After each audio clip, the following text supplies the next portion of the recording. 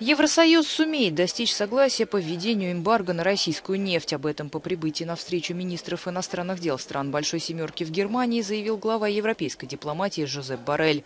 При этом он отметил, что страны, выступающие против немедленного отказа от российского топлива, имеют объективные трудности с поиском альтернативного поставщика. Также Барель анонсировал увеличение финансовой поддержки Киева.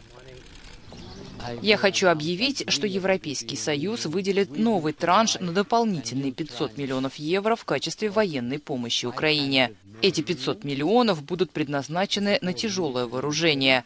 На данный момент мы предоставили бронемашины, танки, тяжелую артиллерию и боеприпасы. На министерской встрече Большой Семерки также присутствуют главы МИД Украины и Молдавии Дмитрий Кулеба и Николай Попеску. Глава британской дипломатии Ли Страс отметила, что в целях Европы продолжить давление на Владимира Путина путем военной поддержки Украины и новых санкций против России. Всего с начала марта ЕС предоставил Киеву помощь на сумму в 4 миллиарда евро, Великобритания – около 3,5 миллиардов.